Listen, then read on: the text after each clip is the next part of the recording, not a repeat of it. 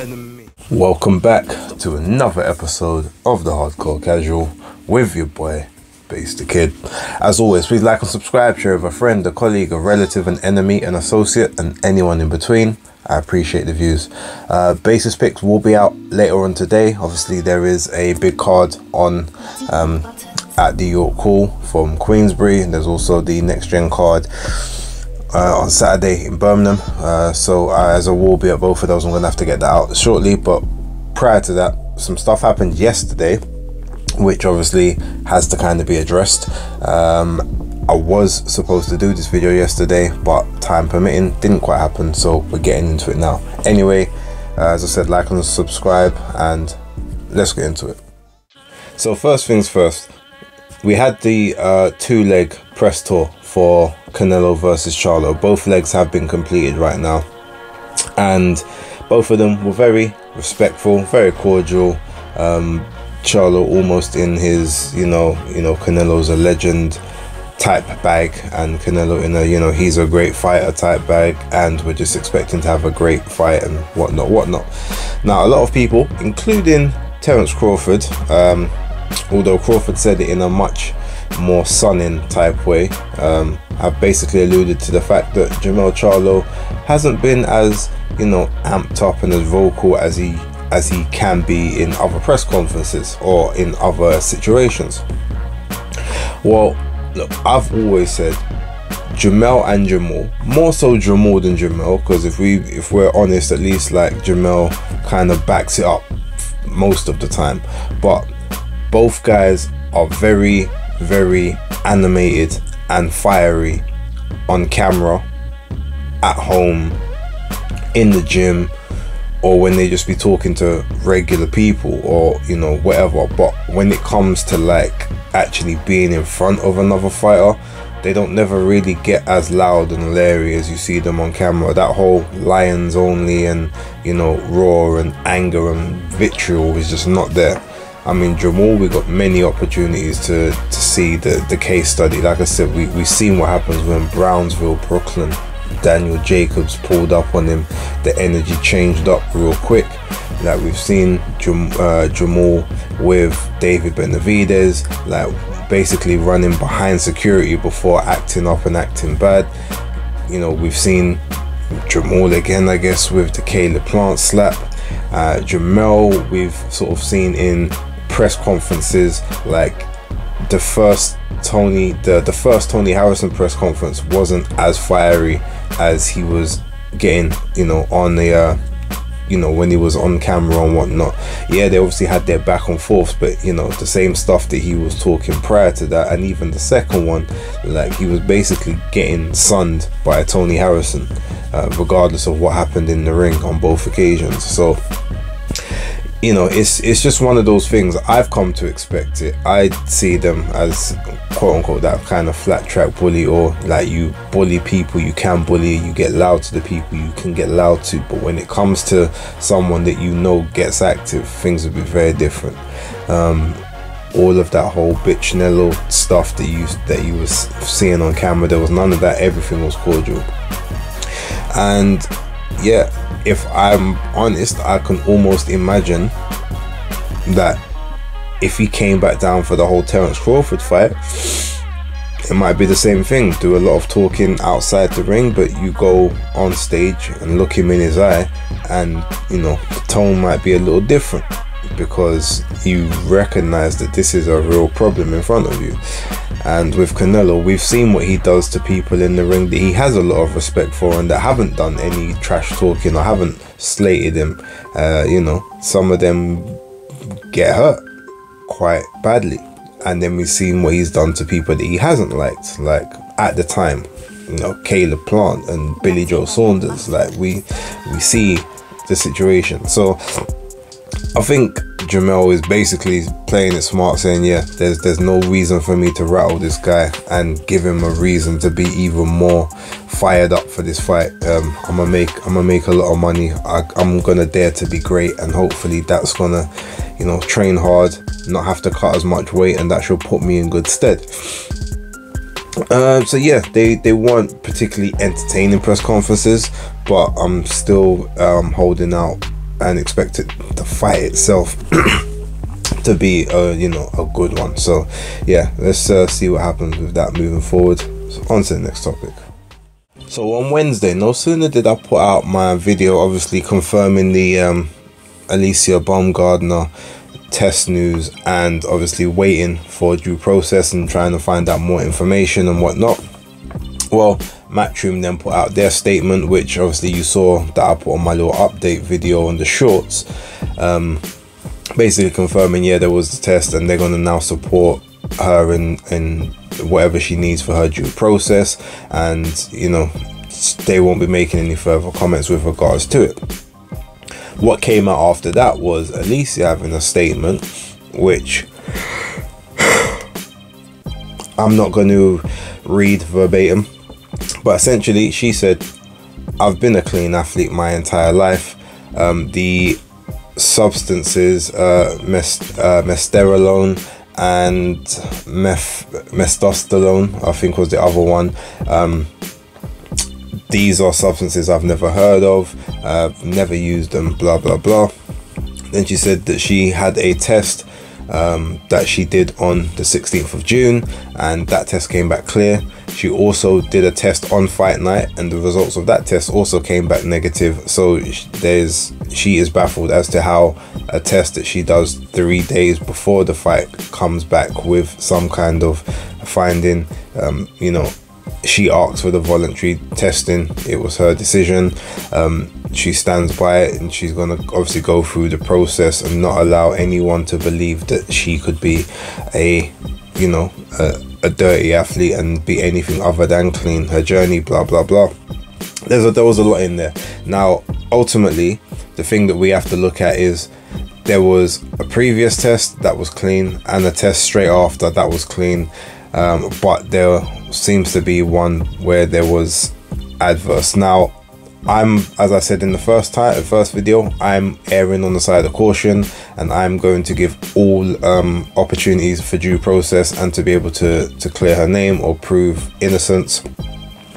I and I'm preaching innocent until proven guilty, um, which is what I do with pretty much every situation.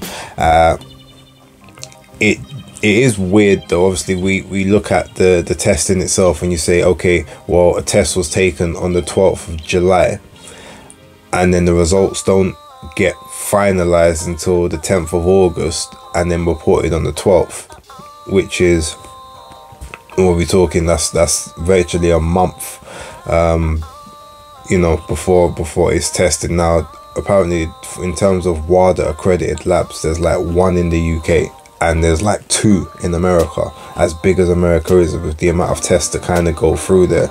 Um, so it's like, yeah, how do you get these tests through quicker? Um,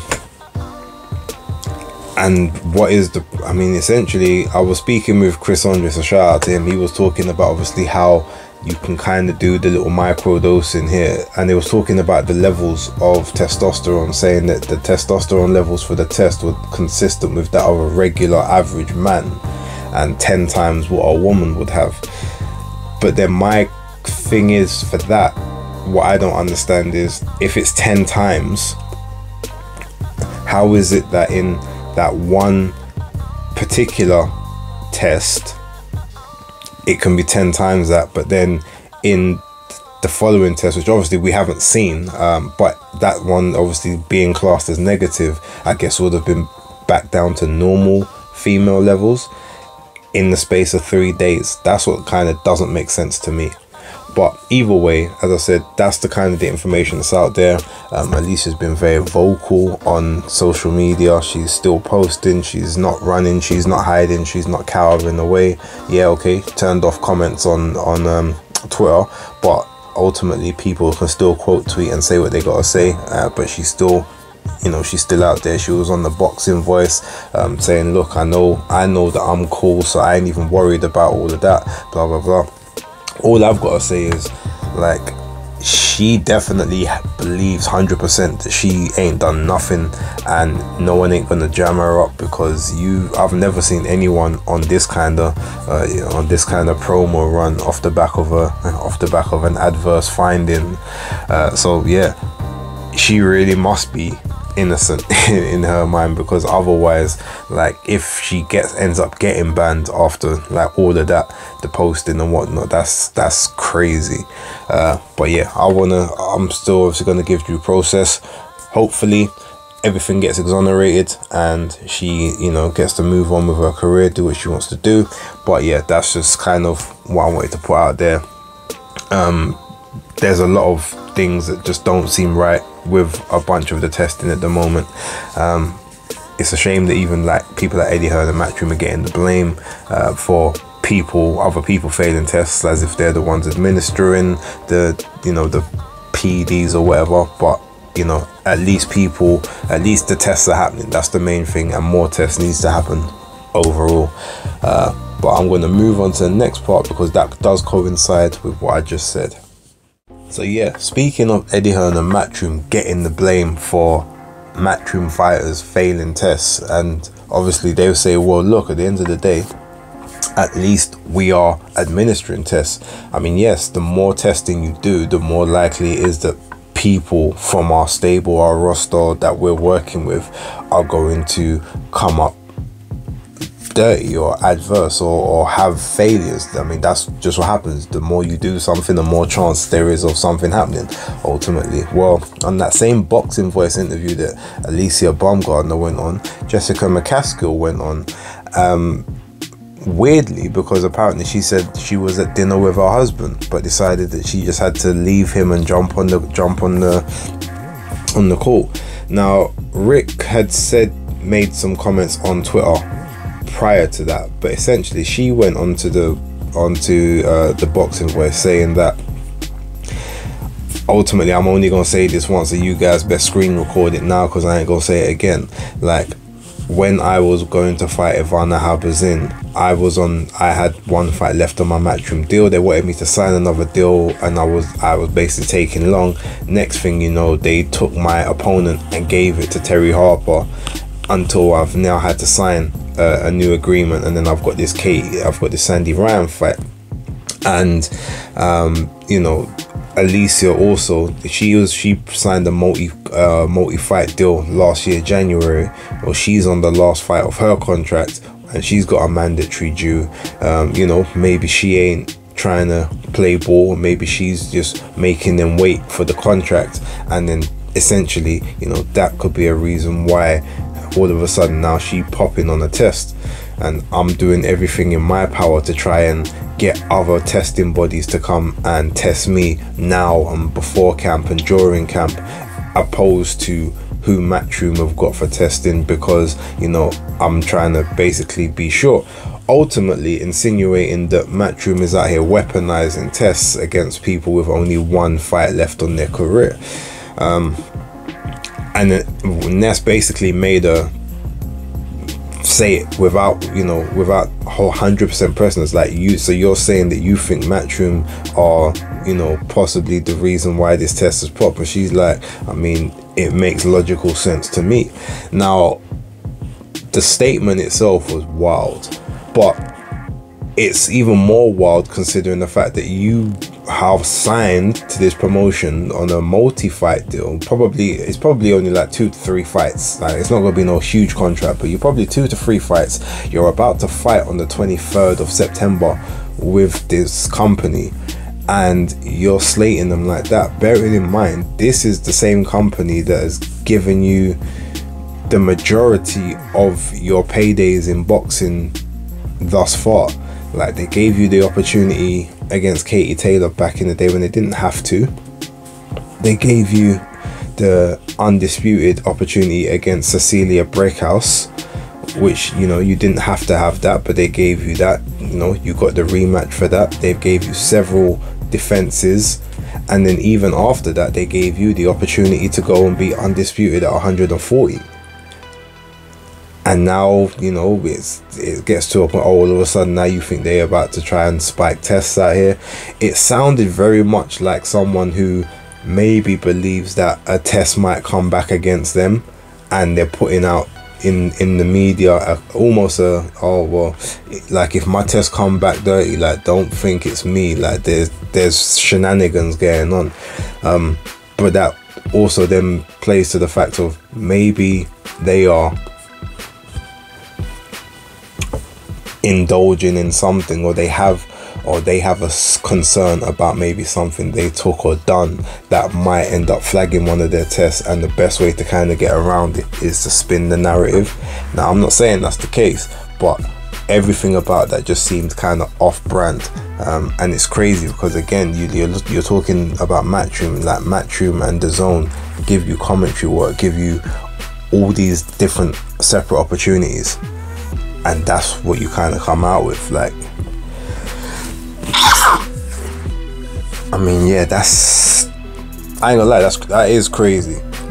Is it outside the realms of possibility? No, it's not. Like any and anything can happen, but you know, you're you're talking about even um, an organization like Drug Free Sport, who apparently do all of this stuff with American sporting outlets. Are they really going to risk their number one, their credibility, their liability, their lives? That you know, you can get put in prison for the kind of um, accusations that she's alleging. Um, yeah, it was it wasn't cool. And then shout out to October Red because she asked Eddie in uh, interview regarding it. Uh, she did it quicker because I was definitely gonna ask on Saturday, but she's got to it, so I don't even need to now. So brilliant. Um, you know, Eddie's like, well, no, that's you know, that's outrageous, and I'm gonna be speaking to, I'm gonna be speaking to them today, and I know that he went on the phone with Rick because Rick put out a tweet saying I had a call with Eddie Hearn, ain't seemed too happy, blah blah blah. Um, so I'm about to speak with Jessica and you know, see what's going on. She put out a statement yesterday on um, on Instagram, one of the Instagram reels I'm a, I'm I'm gonna keep it real. That statement was garbage. Like she said about oh well, you know, I think that the overall conversation might have been a bit misconstrued, but I want to apologize to my husband, business partner, and trainer Rick, you know, for putting him through it.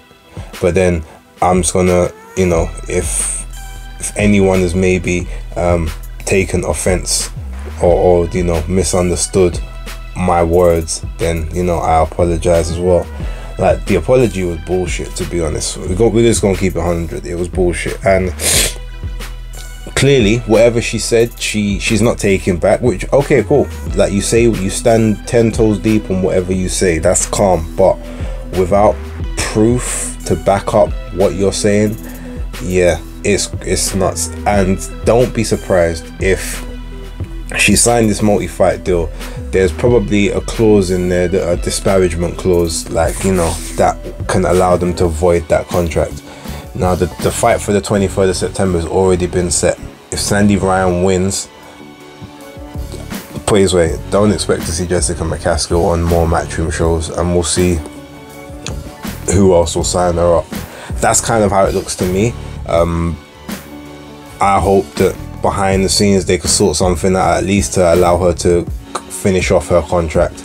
But if and if you do see her on matchroom shows, she'll probably get matched up like against 154 pounders or something because yeah, like I said, them statements was wild, and to say it without having the proof there and just throwing it out there, it, it seems more like you're worried about something that either you've done that you're hoping doesn't come out or if you know if it does at least then you can throw the, the that out into the public so that you get you know so that you know people kind of look at the other team as opposed to looking at you. It's just it's it's all crazy. Um and the thing i i you know i like mccaskill and rick as as people you know. While jessica doesn't have the greatest skill in the world she's not often in like awful looking fights. Um, well, no, that's a lie. She she's been in some real stinkers, but ultimately she's um like she can be in fun fights. They're just you know they are fun to look at. But um yeah, look, I'm gonna leave that there. I've got a few other things to do. Let me know what you guys think below. Um if you've se- if you haven't seen it, I'll put the links to all those videos and stuff. But I'm sure most of you have seen and heard it by now. But yeah, I just want to know your opinions. Like, subscribe, and share. For right now, it's Hardcore Casual out.